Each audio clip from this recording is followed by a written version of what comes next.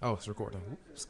Anyway, this is one of my impressions of Dr. Maya Angelou and go. Like the temperature on a warm summer's afternoon, still I rise. And like the octaves of a Beyonce song, still I rise.